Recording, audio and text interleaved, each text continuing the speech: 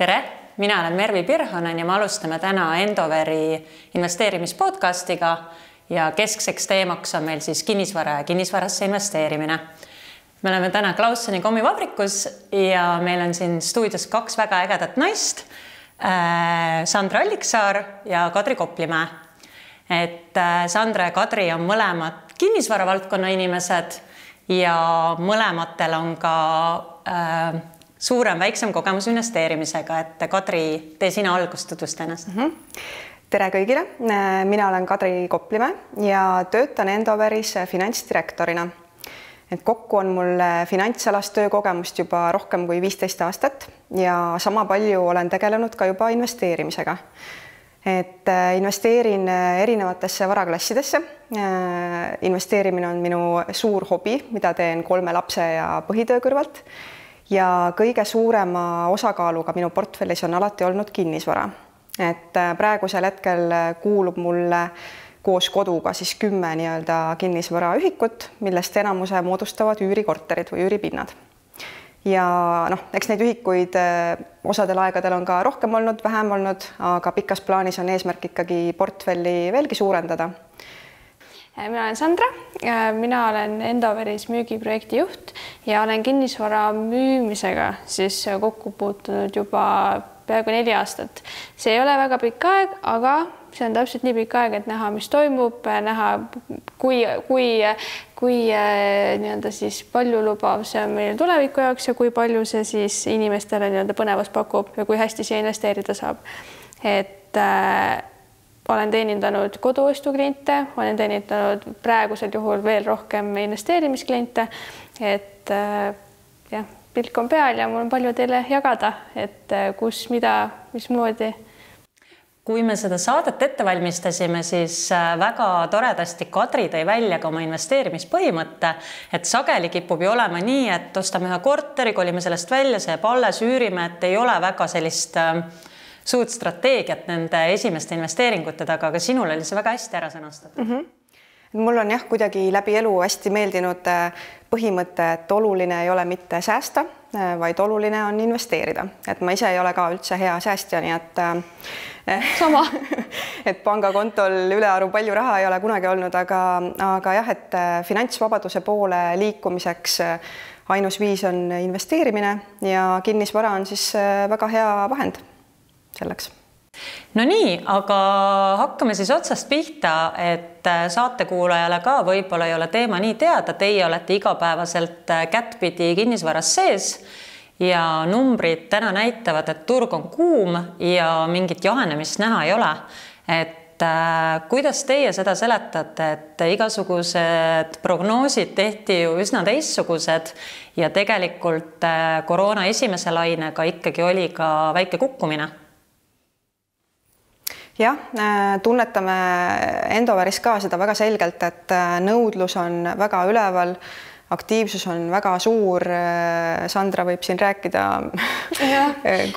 müük on meeletu. jah, kui ülekoormatud ta on iga päev. ei, tulge, tulge, tulge, tulge, laske, laske. et siin on jah, väike hirm juba, et laojääk hakkab nii-öelda otsa saama, et laojääk on siis see, see, mis on Äh, nagu valmis varajääk, eks, või ka, või ka need korterid, mis on lähikuudel valmimas no isegi need korterid, mis ei ole valmis, mis valmivad veel alles siin maikuus on ju, sealt on juba ütleme üle kaheksakümne protsendi müüdud. inimestel on praegu nii palju võimalusi, neil äh, on aega Neil on aega praegu tegeleda sellega, kellel on kodukontorid, äh, istuvadki rohkem seal oma mõtetes. nii et tähelepanu tööandjad, teie, teie töötajad investeerivad sellel ajal, kui nad peaks töötama. ei, lihtsalt need on noh, inimesed ikka mõtlevad nüüd natuke laiemalt, loevad rohkem raamatuid, lihtsalt otsivad endale mingisugust sellist väljundit, natukene on inimestel võib-olla mingi selline kerge stress ka, siis hakkavad juurde võtma endale mingeid asju, millega tegeleda, mida noh, lihtsalt, et natukene ennast paremini tunda ja, ja ennast nii-öelda kasvatada, onju. -hmm. ja eks need noh, pankade laenutingimused ka kindlasti ja. toetavad seda, et intressid on madalad, tingimused on head ja lisaks on äh, turul tekkinud pankade vahel selline mm, termi-, tervitatav ja ter-, terve konkurents, et äh, turule on tulnud mitmed uued äh, pangad, kes kõik soovivad turuosa suurendada ja kõik siis pingutavad, et pakkuda inimestele võimalikult headel tingimustel laenu ja, ja ka klienditeeninduse kvaliteet on oluliselt tõusnud. Ja eks muidugi ka see tagasiside, kui praegu noh, inimesed turul ringi vaatavad, siis nad näevad ju artikleid ja kõike ka, kus on kirjas reaalselt, et et meil on, võib juhtuda, et tekib kinnisvara defitsiit on ju, see juba näitab midagi, et see on hea koht, kuhu investeerida, sest et inimesed teevad seda. see on eh, nii selge teejuht ja näete ju ka, kuidas inimesed otsivad üürikorterid ja nii edasi, et kui on nõudlust, siis tasub panustada sinna. jah, et pakkumine ei ole, ei ole praegu nõudlusele järele tulnud Äh, mis omakorda on tekitanud äh, hinnasurve nii et lähikuudel tõenäoliselt on näha veel eriti just uusarendustes hinna kasvu, aga samas ei tasu kohe karta mingit mullistumist, eks, et kui vaadata, kuidas on liikunud viimastel aastatel kinnisvarahinnad, kuidas on liikunud palgad ja kinnisvarahindade ja palkade suhe, eks, et see noh, hinnakasv ei ole olnud üldse paigast ära. et mullistumist ei tasu vähemalt praegu veel karta et huvitav on vaadata siis ka seda, et kuigi noh, me näeme neid töötuse numbreid, see koroona on siin oma töö teinud, et kuidagi on ikka niimoodi, et inimeste pangakontodel on vist kõigi aegade kõige suuremad äh, hoiused. jah inimesed on pikalt kogunud, sest et tegelikult mingi, mingi klass inimesi on oodanud mingisugust aega, aga nüüd on aru saanud. no ikka langust no on oodatud jah, seda aega, aga tegelikult on näha, et no nagu ka analüütikud on rääkinud, nüüd kinnisvaraanalüütikud, et, et reaalselt noh, seal ei ole enam midagi oodata et ja samamoodi nagu Kadri alati ütleb, ei ole üldse vale aeg mitte kunagi kinnisvarasse investeerida.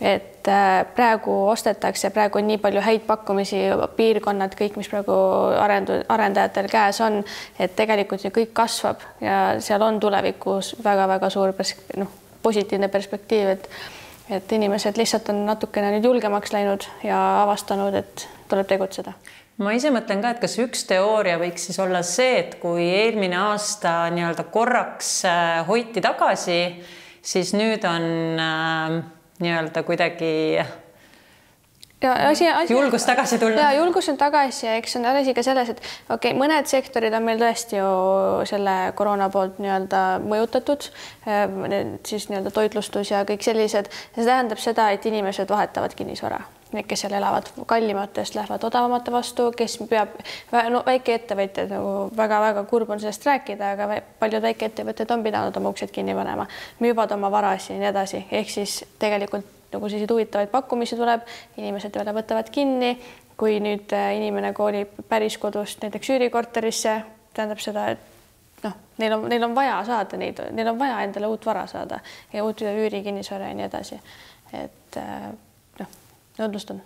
ja tulemuseks vist see, et äh, aasta lõpus olid äh, siis ka uus, uusarenduste tehingud äh, oma nii-öelda tippude tipus.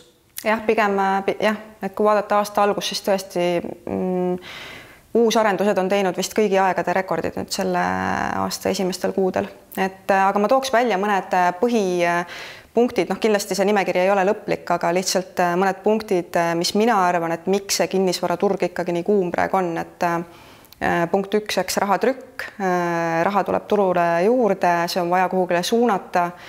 ikka raha suunatakse varadesse, noh, üks varaklass on kinnisvara, kuhu, kuhu see läheb, eks.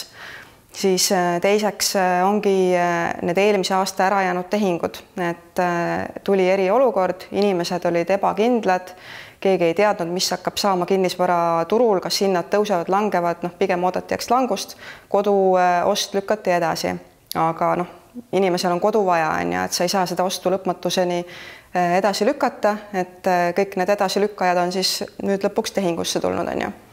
ja noh, sama asi oli ka arendajatega, et, et eelmisel aastal arendajad samamoodi ei teadnud, mis edasi saab kõik, kes said, panid äh, plaanitavad nii-öelda paberi peal olevad arendused äh, pausile. et ehitati edasi neid arendusi, kus ehitus oli pooleli, aga mis olid alles planeerimise järgus, neid siis cancel dati ja, ja pandi jah pausile. et ja, ja nüüd jah, on tekkinud olukord, kus nõudlus on oluliselt suurem kui pakkumine, et arendajad ei jõua oma pakkumisega nii kiiresti järele, ehitus ja planeerimine võtab aega, eks. Ja, ja tekkinud on hinnasurve ja omakorda on investorites tekkinud justkui natukene selline Äh, FOMO efekt, et noh, ma ise ka nagu vahepeal tunnetan, et kas ma peaks nüüd kiiremini tegutsema või mis ma pean tegema, et äkki ma jään rongist maha, eks, et et fear of missing out, eks, et äh, kui ma nüüd kohe ei tegutse, ma jään mingist väga heast investeeringust ilma, on ju. ja mis on veel Eestis äh, juurde on tulnud väga palju uusi tublisid ettevõtjaid, noori ettevõtjaid, väljutud on startup idest, samamoodi inimeste kätte on liikunud palju vaba raha et ka need inimesed äh, soovivad seda kuhugile paigutada ja jällegi osa raha liigub kinnisvarasse, eks. Äh, no viimase aja kuum teema on pensionireform ja, ja palju küsitakse, et mida siis inimesed äh, selle, rahaga pihta hakkavad, et ilmselt, ilmselt teil on kindel lootus, kuhu see läheb. Jah, kindlasti äh, eks siin sügisel, äh, sügisel saab nagu neid tibusid lugeda, et et äh, ma arvan küll ise, et mingi mõju kinnisvarasektorile sealt tuleb, et inimesed saavad noh, esimesed inimesed saavad sügisel pensionifondidest oma rahad kätte, et ma väga loodan, et seda lihtsalt ära ei kulutata, vaid et inimesed seda investeerivad ja muuhulgas siis kasutavad sissemaksuna, et osta kinnisvara praegu on igal juhul päris, päris suured protsendid välja käidud, et äh, kes nii-öelda sambast välja astuvad, et äh, päris huvitav, kuhu see välja jõuab. eks saame näha jah. jah, eks see mass on suur, aga nagu, nagu me oleme käinud konverentsidel kuulanud, siis tegelikult need, kes mõtlevad investeerimise peale, et neid nagu kohe väga palju ei ole. et äh, see ongi see, mis võib-olla me soovitame, et tõesti, et kui te saate seda raha kätte, siis ärge kulutage, et teil on nii palju võimalik sellest rahast rohkemat teha ja endale kasu rohkem lõigata. et lihtsalt kuna sealt tulevad ikkagi mõnusad numbrid on ju, et võib-olla võib ennast ära kaotada. no üks pool on see ja teine pool on ikkagi see, et raha väärtus täna ajas tänu sellele täiendavale rahatrükile Lang... ikka ainult langeb. jah, jah, et äh, inimesed kardavad äh, või noh, üldse turul jah, kardetakse inflatsiooni et äh, investeerimine muuhulgas ka siis kinnisvarasse, eks on väga hea kaitse inflatsiooni eest. et äh, lihtsalt äh, suurt hunnikut raha pangakontol säästa ei, ei ole nagu väga mõistlik, jah. Te olete mõlemad ise ka väiksemal ja suuremal määral kinnisvaraportfellide omanikud et varaklasse on ju ometi veel, et miks just kinnisvara, miks on nii, et eestlased on nii kinnisvara usku? Noh, minule see kinnisvara on hästi palju seotud emotsioonidega. et jah, neid varaklasse on erinevaid, olen investeerinud ka erinevatesse varaklassidesse ise, eks aktsiad, võlakirjad, idufirmad, noh, mis iganes neid variante on väga palju, eks, aga aga kinnisvara pakub mulle just seda õiget nii-öelda emotsiooni ja rahuldust, et kui ma igapäevaselt äh, tegelen äh, numbritega, mis on nagu pigem kuivem, eks, et kinnisvara annab mulle sellise loomingulise väljundi, et kus ma saan ennast nagu teistmoodi välja elada. ja, ja seda saab käega katsuda need on, see on sul olemas, sa näed oma vara, sa saad seda vara parendada mm, -hmm. sa saad, ostadki endale, kui sul ei ole praegu kohe palju raha, aga sul on raha, investeerid, ostad odavama korteri, ehitad vaikselt, näed, kuidas su vara väärtus kasvab lihtsalt. sult ei võeta seda ära aktsiaturul, mis ma olen ka pannud tähele, okei okay,, ma olen, ma olen seda proovinud kõik, aga lihtsalt, kui sul on need numbrid seal ja siis nad on järsku seal ja siis sa pead olema kannatlik ja ootama, kui nad näiteks tagasi lähevad, onju. et siis kinnisvaraga lihtsalt võib-olla see vaimne stabiilsus natukene mm. -hmm. et sa ei käi nagu iga ja. päev nii-öelda nagu aktsiaid vaatamas, onju, et kas see on nüüd tõusnud, langenud pluss kümme protsenti, miinus kümme, et, et kinnisvara on jah, nagu stabiilsem ja paremini prognoositav. jah, ja, ja nat natuke nõrgema närvikavadega inimestel et saab ilusti hakkama.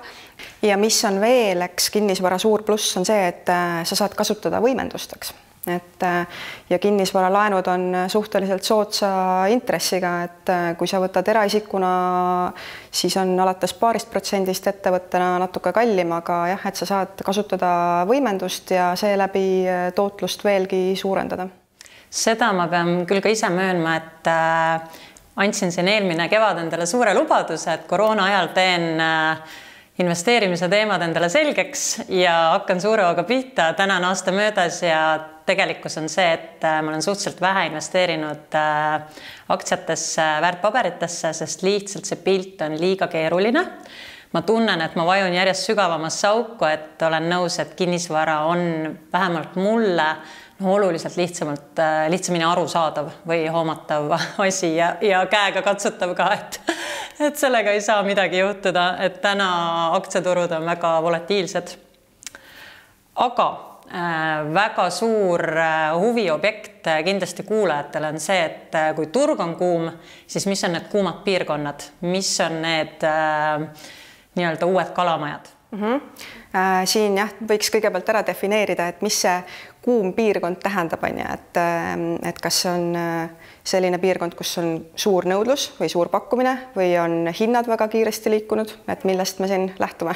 jah, no see ongi nüüd niimoodi, et noh, uus kalamaja, tegelikult kalamaja on siiamaani kalamaja ja see on siiamaani kuum piirkond on ju. no siin me täna ka istume, eks ole aga lihtsalt, et oleneb, mida klient otsib, kas ta otsib endale suurt üüritulu siis äh, lihtsalt peab panema endale mingid kindlad mingid magalapiirkonnad, kas ta otsib, kas tema jaoks on kuum piirkond see, kus on äh, nii-öelda lihtsalt nagu kinnisvara hinnaklass kõrgem, kus on ka kontingent teistsugune on ju, et tegelikult neid kõiki on võimalik määratleda, aga lihtsalt äh, kui on spetsiifilised küsimused, siis saab. aga kui me võtame täna selle nõudluse ja. aluseks, et mis, mis oleks, me räägime siin täna eeskätt Tallinnast, et mis need äh, kohad veel on siin? Põhja-Tallinn ja nüüd saab juba öelda üldisemalt, sest et see terve piirkond areneb, et me räägime ka nendest nii-öelda Kopli poolsetest nurkadest on ju, et. jah, kogu see mereäärne piirkond jah.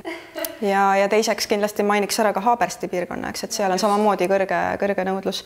ja noh, üldse, et mida on hästi kaval tegelikult vaadata investorina, on äh, kõik erinevad kvartaliprojektid, vahet pole, kus, äh, kus nad asuvad et äh, ja, ja eriti nutikas on veel siseneda kvartaliprojektidesse just esimestes etappides. et siin nagu minu kogemus ka väga selgelt näitab, et kui sa äh, sisened esimeses etapis, siis juba teine ja kolmas ja nii edasi, järgmised etapid on oluliselt kõrgemate hinnatasemetega. et äh, kogu see piirkond ju pööratakse ümber, saab täiesti uue ilme. et jah, kvartaliarendused on nutikas investeering, ma ütleks see kogu keskkond areneb ja arened, kui sa oled esimene, siis arened veel sellega koos. et see on, see on väga põnev. et Endoveril on ka jah, äh, oleme teinud äh, kvartaliprojekte, no näiteks Aurora Nova, äh, Aurora, Aurora park ja Aurora Nova piirkond, aga nüüd, mis on veel pooleli, eks on Rocca Towers ja Volta kvartal, et aga teie juttu kuulates minul kui sellisel algajal väikeinvestoril ikka juba kohe mure, kas ma ei ole mitte hiljaks jäänud juba turg buumib, öeldakse ju, et osta siis, kui veri on tänavatel, praegu on meil ainult koroona ja, ja, ja sektor õlmitseb, et kuidas, kuidas sellega on? ma arvan, et investeerida ei ole kunagi vale aeg või liiga hilja, et sa ikkagi äh, teed omale pikki plaane, investeerimine on pikaajaline tegevus, et isegi kui see mm, turg vahepeal kõigub üles-alla, et see ei sega, äh, et jah, investeerida on alati õige aeg kuulajatele-vaatajatele selline väike salavihje ka, et Kadrit siin enne pinnisin, et mis ta siis ikka kõik kokku ostnud on ja ja, ja see, et ei ole veel liiga hilja, on, on ka sul see kuu veel üks tehing tulemas äh,. jah, jah, paari nädala pärast. Äh, olen, olen ikka, et äh, nii kui vähegi võimalust on, äh, investeerin edasi ja, ja tõesti paari kuu või paari, paari nädala pärast on üks uus korter jälle portfelli lisandumas palju õnne mm -hmm. noh, vara veel soovida see on ka jah, huvitav point, et tegelikult see koroonakriis nüüd seda meile ei toonud, et kõik oleks kuidagi maale kolinud mm. -hmm. et Tallinna kinnisvaraturg on väga aktiivne. see alguses hirmutas inimesi, aga nüüd on näha, et keegi, mitte keegi ei oota enam midagi, lihtsalt tegutsetakse et mida ma lihtsalt nägin enda üürnike pealt, et et äh, see eelmise aasta nagu kriis äh, tekitas sellise olukorra, kus inimesed nagu äh, hakkasid tahtma lihtsalt avaramaid pindu ja suuremaid kortereid, et minu üürnikud ka, ühed, kes elasid ühetoalises, soovisid minna kahetoalisesse, kes elasid kahetoalised, kahetoalises, soovisid kolmetoalist, et kui terve pere peab kodust töötama ja õppima, siis noh, mingi hetk sul lihtsalt jääb natuke privaatsusest väheks, et tahad suuremat pinda seda kodukontori tuba ei olnud meil vist sellel hetkel, kui seda vaja oli, ei olnud seda kellelgi. aga räägime veel natukene valikutest objektide vahel, et no esimene päris suur küsimus on ikkagi see, et kas vana või uus. et mis räägib uue, mis võib olla vanema kinnisvara kasuks mm? -hmm no kõigepealt ütleks, et äh, vastavalt võimalusele, et kui on ikkagi soov kinnisvarasse investeerida või endale kodu osta, siis ei peaks selle pärast muretsema, et kui mul ei ole nüüd raha selle uue jaoks, et peaasi, et sa selle sammu ära teed.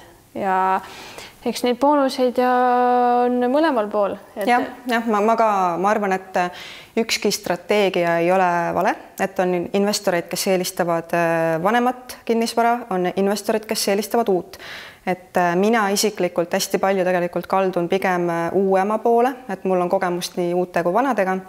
et äh, jah, kui sa vaatad seda ainult puhtalt üüritootlust, siis võib tunduda, et see vana on nagu kasulikum, aga tegelikult võiks arvesse võtta ka oma aega, mis sul kulub vana kinnisvara renoveerimisele vanal majal on erinevad probleemid, mõnikord torud lõhkevad, mõnikord pole sooja vett, on ju, et kõige sellega sa pead tegelema, pead jah, juba ette arvestama nii-öelda rohkem oma ajakulu ja tegelikult oma aeg on ju kõige kallim vara nii-öelda.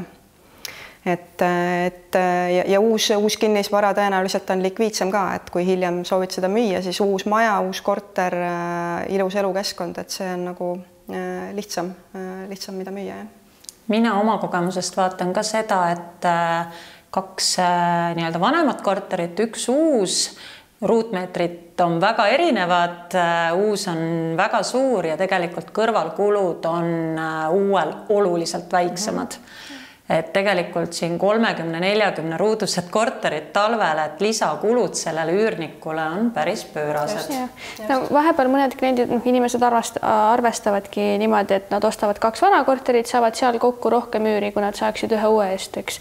aga nad ei arvesta sellega, et see amortitatsioon, mis seal toimub, kui äh, ongi need talvekulud suuremad, arvatavasti üürilised vahetuvad ka kiiremini, see tähendab seda, et iga aasta on seda perioodi pikemalt, kus äh, ei ole üürilist sees, ehk siis see raha kaotus tuleb sealt tagasi et äh, selle peale nagu inimesed ei ole veel nii täpselt mõelnud, et noh, minu, mina, kui ma olin noor, on ju, siis minu jaoks tundus täitsa, täitsa naljakas idee, et oh, ostad uue korteri ja siis saad nagu mingi kakssada eurot vähem üüri, kui sa saaksid kahe odavama korteriga. aga nüüd, kui ma ostsin, ostsin ka oma esimese järelturukorteri ja siis ma nüüd tean, mis tähendab see, et minu aeg ja kõik see mure, mis sealt tuleb sellest, et okei okay,, ma ostsin hea hinnaga, aga ma pean ta ära remontima, sinna läheb see raha juurde. Ja kui ma oleks sinna nüüd natukene veel pannud, natukene rohkem laenu küsinud, ma oleks saanud selle uue korteri, ma ei oleks äh, kaks kuud panustanud remondile. Äh, maja on korras, garantiitööd näiteks, mis uusarendustes on, mida mul ei ole, mina tegin ise need tööd, mis ma tahtsin, onju, aga garantiitööd hoolitsevad uusarendustes selle eest, et kõik, mis seal juhtub, on ju, mis ei ole nagu noh, kliendi tõttu seal tulnud, et need tehakse ise korda ja sa saad rahuliku südamega elada. et äh, see võiks olla küll tugev argument, et aeg ja natuke närve mm,. see äh, piirkonna äh, valik ka, et mille peale nagu kõik, kõik võib-olla ei mõtle, aga kui sa oled investor, eks alles alustad, sa täpselt ei tea, kuhu piirkonda osta, millist korterit siis üldjuhul on äh, nii, et kui sa ostad äh, uue korteri äh, suurelt arendajalt, siis väga suur on tõenäosus, et sa ostad selle õigesse piirkonda, et vahet pole, kus see maja siis on, eks. et see arendaja on sinu eest nii-öelda selle piirkonna kodutöö juba ära teinud, sest arendaja arendab ikka sinna, kus nõudlust on, on ju.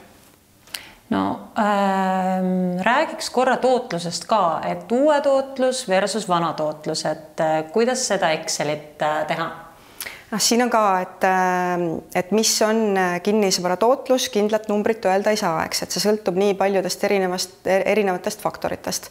et mida mm, paljud just eriti algajad teevad, on see, et nad äh, võtavad sellise klassikalise arvutuse, et ühe kuu üür korda kaksteist jagatud siis esialgne investeering on ju aga nad ei võta sinna arvesse jah, lisanduvaid kõrvalkulusid, mis sul kulub remondile, Äh, siis see aeg, mis kulub remondile jälle, eks saamata, saamata mm, üür, kuna sa, sa ei saa seda korterit kohe nagu üürile anda, eks, siis äh, erinevad äh, probleemid, mis sa pead seal käima, kui on midagi kuskil uputab, midagi on juhtunud vanas korteris, uue puhul kõik see jääb olemata ja noh, nagu ka enne sai mainitud, et äh, vanade korterite puhul äh, see vakants kipub nagu suurem olema, et üürnikud äh, vahelduvad seal tihedamini, et seega jälle, et sa mitte ei võta üüri tootluse arvutuseks vana maja puhul võib-olla mitte kaksteist kuud, vaid natuke vähem juba on ju.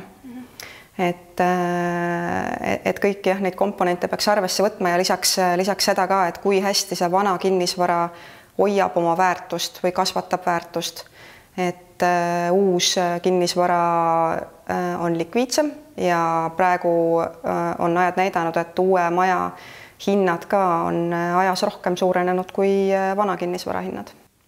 no nii, aga kui me võtame selle meie esimese teemade ringi kokku, siis mina olen vähemalt aru saanud, et jahtumist valdkonna asjatundjad ei ennusta, et pigem, pigem kasv jätkub tegutseda tuleks pigem kiiresti.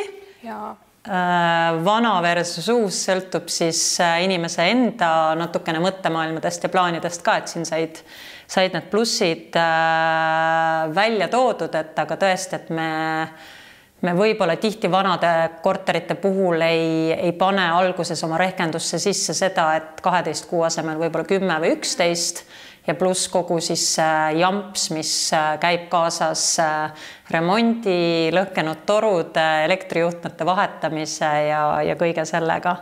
lisaks kipub vahel tunduma, et need ähm, olemasolevad korterid ja nende omanikud soovivad ka oma uhkete sametkardinate ja võib-olla mitte päris ostja maitsele köögimööbli eest ka nagu lisaraha saada ja, ja mis siis puudutab tootlust, et siis jah, tegelikult ikkagi Excel välja kõik numbrid kirja ja, ja võrdlus teha mm. -hmm. kas teil on veel lõppu midagi lisada, mingeid mõtteid, mis jäid rääkimata? noh, pigem eks ootame siis investorite kirju võib-olla, et kui kellelgi midagi jäi arusaamatuks või tahaks täpsustada. jah, jah. jah, et kirjutage meile investor.endover.ee ja, ja siis me saame järgmistes saadetes juba teie mõtteid ja ideid äh, kajastada ja kindlasti võiks kirjutada meile ka saatekülaliste osas, et keda te tahaksite ähm, kuulata. All right, aga siis on meil podcast purgis. aitäh